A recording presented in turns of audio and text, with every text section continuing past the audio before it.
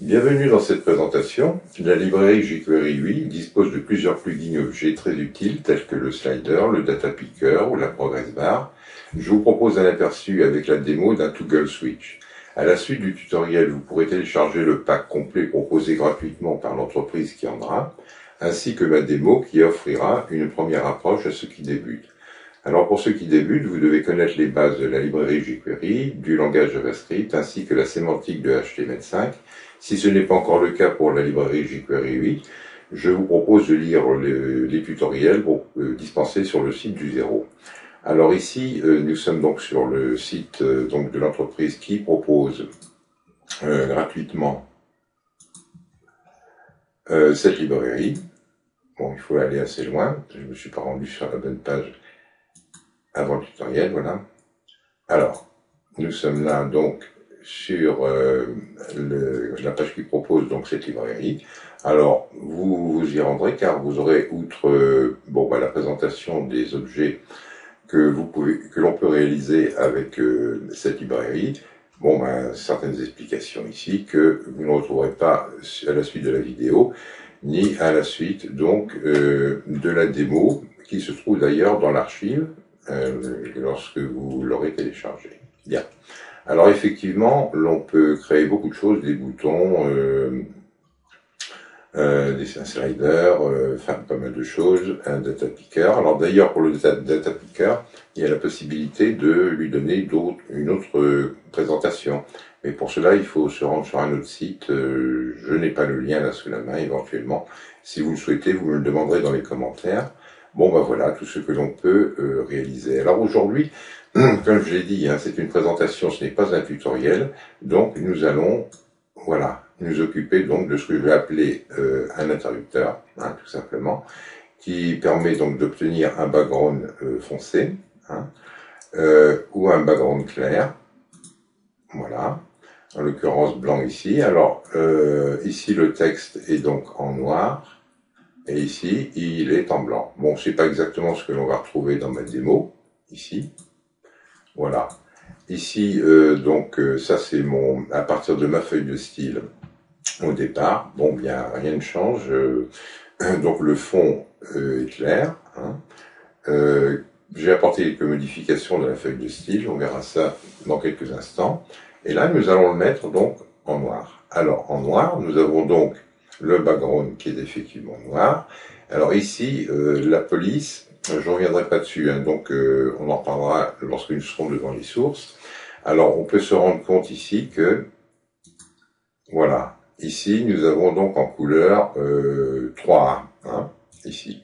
Bon, donc retenez cela et vous le vérifierez chez vous lorsque vous suivrez le, euh, vous l'aurez téléchargé et puis vous serez vous pratiquerez les modifications. Lorsque l'on revient donc avec un background clair, eh bien, l'on peut constater que, voilà, la, euh, couleur donc du texte est de 777. Bien. Alors, euh, lorsque vous aurez téléchargé donc l'archive, voilà ce que vous aurez.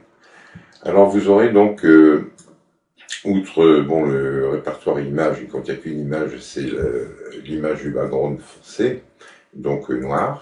Bon, allons-y, là, voilà. On va pas voir grand-chose, Bon. Alors, voilà. Bon, alors le CSS, JavaScript et jQuery. Euh, bon, alors, ma démo et l'index qui est donc la démo de l'auteur. Alors, dans le CSS, ici, nous avons donc ces deux fichiers d'origine, donc euh, normalise, que nous n'allons pas utiliser d'ailleurs dans ma démo. Hein et euh, custom. Alors custom, je l'ai copié ici, je l'ai appelé, renommé donc custom 2. Euh, voilà. Alors custom 2, nous allons nous rendre donc dans les sources. Alors déjà, ici, euh, sur ma page démo. Alors sur ma page démo, vous allez retrouver donc les fichiers ici dans le header, euh, dans, le header, donc les fichiers donc CSS, hein, euh, modernise, vous voyez, n'y figure pas, donc ne le rajoutez pas, ne le cherchez pas, c'est pas utile. Bon, ici, il s'agit de la feuille de style de ma page démo, donc euh, ça n'a rien à voir. Alors, on descend. Alors, dans le dans le, donc, dans le header, donc, container, nous avons donc notre, ce que j'ai appelé notre interrupteur, hein, euh, light, dark, voilà. Hein. Bon. Ensuite, dans une balise, dans la balise, donc, dans le bloc div, euh, ça, euh, contenu euh, concerne ma feuille de style. Bon, donc ça, vous ne vous en occupez pas.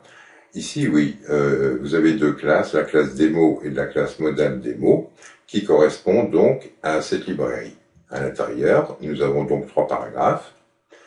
Le bloc est fermé, je rouvre un autre, un autre bloc dans lequel bien euh, il y a deux liens qui pointent le, vers le site de l'auteur et chez GitHub pour le télécharger, éventuellement chez GitHub.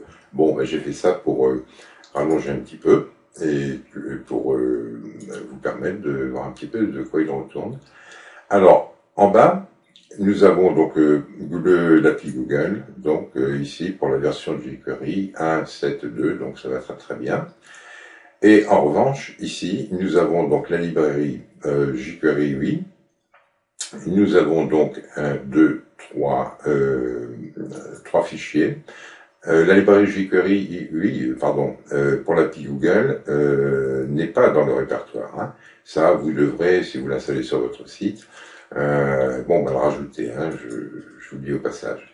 Alors, en revanche, ici aussi, hein, celle-ci aussi, ces deux-là. Hein, ces deux-là, vous ne les avez pas dans le répertoire. Hein, ce sont les deux, deux en fait. Bon. Alors, vous avez, en revanche, ces trois fichiers, donc... Euh, que vous retrouverez dans le répertoire. Bien. Alors maintenant, nous allons nous rendre dans euh, Custom. Bon, que j'ai renommé Custom 2, bah, tout simplement car j'ai euh, commenté, donc supprimé le body, euh, puisque j'ai déjà le mien via ma feuille de style. Et ensuite, j'ai apporté une modification donc au container afin de lui donner donc une largeur ici, non pas de 60%, mais de 100%. Hein. J'ai supprimé les mini et les maxi largeurs et euh, j'ai rajouté donc euh, un padding bottom de 40 pixels pour eh bien euh, rendre propre, euh, placer, positionner proprement le petit interrupteur ici, voilà, par rapport à là et par rapport au début du bloc. Voilà, tout simplement. Alors, ici, euh, j'ai mis à 100%, bah oui, de manière à avoir, donc, euh, une, comment je vais dire, euh, à ce que cela s'étende donc sur toute la largeur de la page, alors que sur la démo de l'auteur, euh, il s'agit que de 50% ici. on va prendre ça, voilà. Il s'agit que de 50%. Donc là, j'ai rendu à 100%. Et d'ailleurs, pour une feuille de style qui permet une, euh, une adaptation, donc euh, quelle que soit la, complète sur l'écran, quelle que soit la résolution de l'écran. Hein. Donc je reviens sur le, la feuille de style. Alors je vous ai dit que euh, oui, oui, donc j'avais mis à 100% ici, et ici euh, pour à la ligne donc 64-66, donc pour la classe modale des mots, et concernant donc les paragraphes, voilà, c'est ici plus précisément euh, que j'ai supprimé donc les 50% en question euh, de manière à ce que cela s'étende sur 100%. Voilà.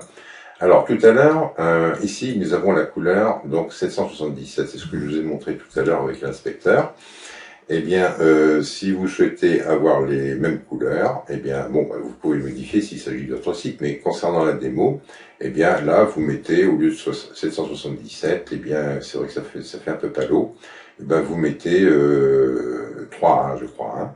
il me semble que c'est ça. Bon, donc c'est ici, en tout cas, vous changez le, la couleur. Bon. À part ça, je, oui, alors ici, donc, vous pouvez modifier éventuellement l'image de fond. Là, ici, il faut revoir sa taille. Hein. Et puis bon, changer peut-être euh, certaines couleurs, etc. Bon, là, ici, il n'y a pas de problème, vous pouvez faire vos modifications.